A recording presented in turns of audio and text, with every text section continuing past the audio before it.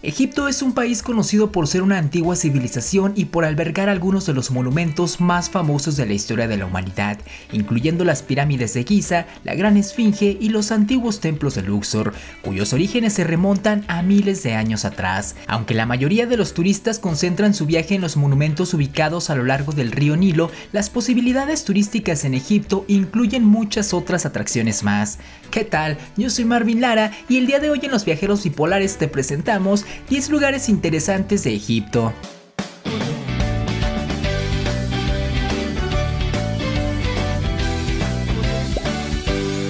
El Templo de Horus. El Templo de Horus o Edfu es el segundo templo más grande después del de Karnak y es otro de los lugares que visitar en Egipto. Está situado a la riviera del Nilo en la ciudad de Edfu. Se empezó a construir bajo el reinado de Ptolomeo III en honor al dios Horus. Durante siglos el templo quedó enterrado bajo tierra por la arena del desierto hasta que el egiptólogo francés Augusto Mariette lo descubrió. Este tiempo bajo tierra permitió que sea uno de los templos mejor conservados con estatuas y relieves magníficos y al encontrarse al lado del Nilo es una de las paradas habituales de los cruceros que recorren el río. Arrecifes del Mar Rojo el Mar Rojo es uno de los lugares más hermosos del mundo para practicar buceo. Las aguas de este mar son conocidas por su espectacular visibilidad y por albergar algunos de los escenarios submarinos más fascinantes del mundo. Gracias a sus enormes y extensas formaciones de arrecifes y corales, este mar alberga una gran variedad de vida marina, la cual estoy seguro que te va a encantar. Templos de Karnak. Amigos Vips, al lado de los templos de Luxor, en la orilla del río Nilo, se localizan los templos de Karnak.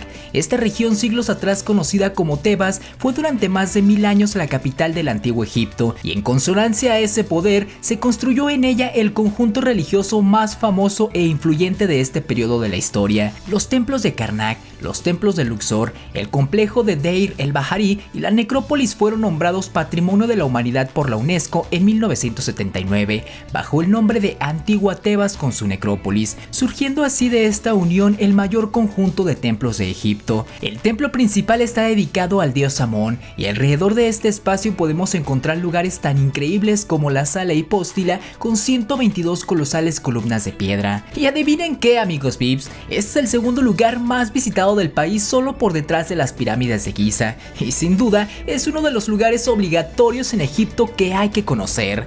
¿Qué tal amigo VIP? Alejandría se trata de la ciudad más cosmopolita que ver en Egipto y fue el principal centro cultural del mundo antiguo. Fundada por Alejandro Magno en el 322 a.C., es sin duda uno de los lugares más interesantes. Aunque sus grandes reclamos históricos desaparecieron hace ya varios cientos de años, la ciudad sigue manteniendo esa aura que la hace especial. El faro de Alejandría, considerado una de las grandes maravillas del mundo antiguo, fue destruido por un terremoto en el siglo XIV. Por otro lado, su biblioteca, en la que desde su fundación en el siglo III se guardaron casi un millón de documentos en un intento de aunar todas las obras del ingenio humano, de todas las épocas y de todos los países, la cual tristemente fue destruida en extrañas circunstancias.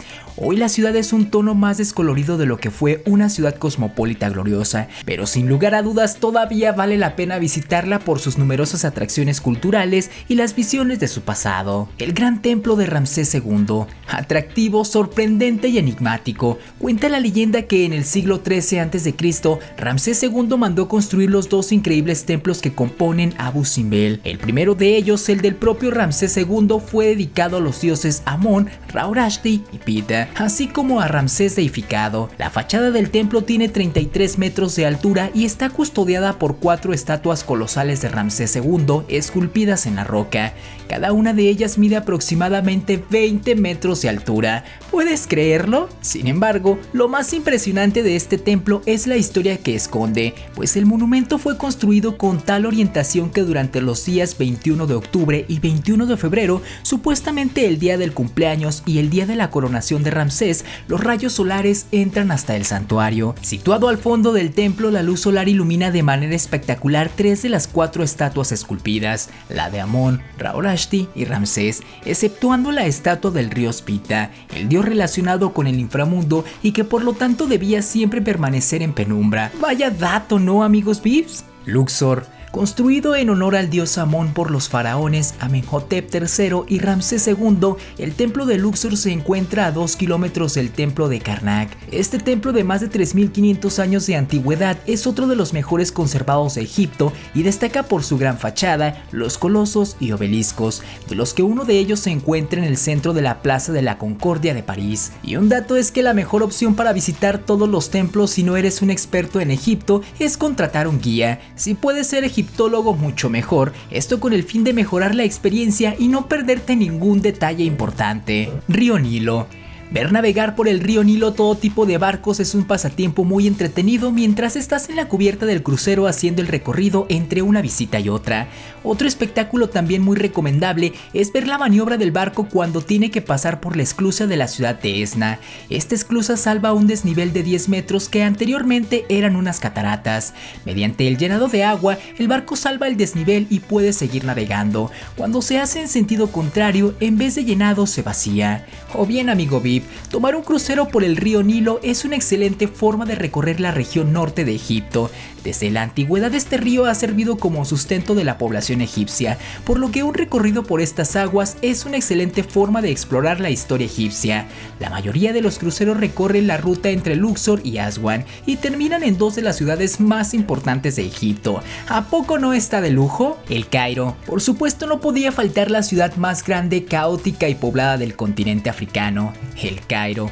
Aquí los semáforos son simples objetos de decoración y cruzar una calle se convierte prácticamente en un acto de fe en el que solo conseguirás pasar con determinación. Aunque el Cairo no es solo caos, a medida que paseas por la ciudad descubres una historia milenaria, buena gastronomía, grandes contrastes entre la tradición islámica y la moderna y siempre acompañada del buen humor y la amabilidad de su gente. El Valle de los Reyes. En la orilla oeste del Nilo, a 10 kilómetros de Luxor, se encuentra el Valle de los Reyes uno de los lugares que visitar en Egipto más imprescindibles. Este valle se convirtió en el cementerio de la mayoría de los faraones, así como de las reinas y príncipes de la época del Imperio Nuevo, y está compuesto por dos valles, el este y el oeste, o Valle de las Reinas, donde se han encontrado más de 60 tumbas, de las cuales las reales que se encuentran decoradas con imágenes referentes a la mitología egipcia dan indicios sobre las creencias y rituales funerarios de la época. Por motivos de seguridad, profanación y para evitar el robo de objetos más valiosos,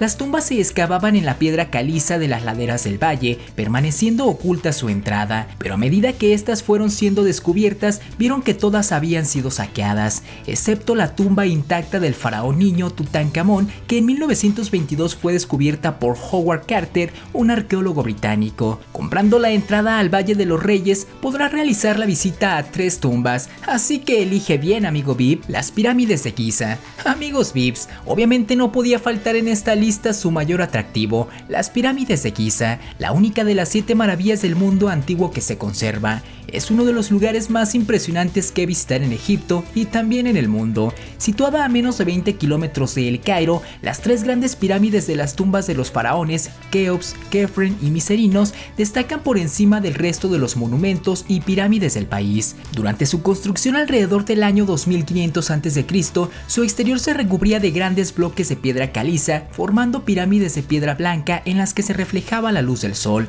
y mediante las que los faraones creían que alcanzarían la inmortalidad.